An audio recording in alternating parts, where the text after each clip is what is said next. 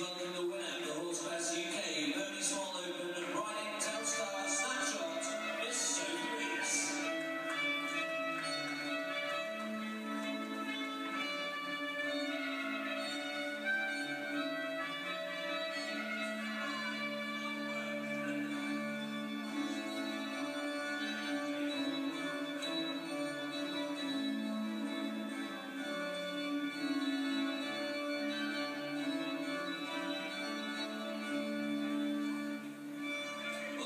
congratulations to, Sophie to taking the class here on Telstar Snapshot. And we're delighted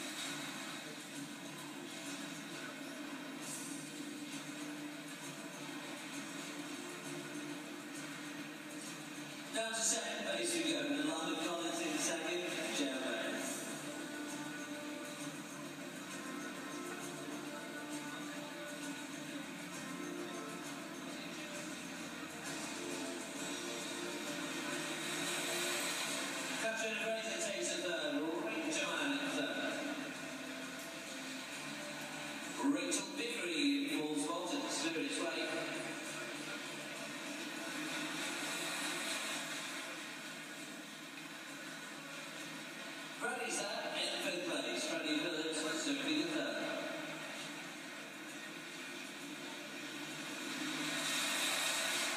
And sixth place up Megan Bristow. Megan with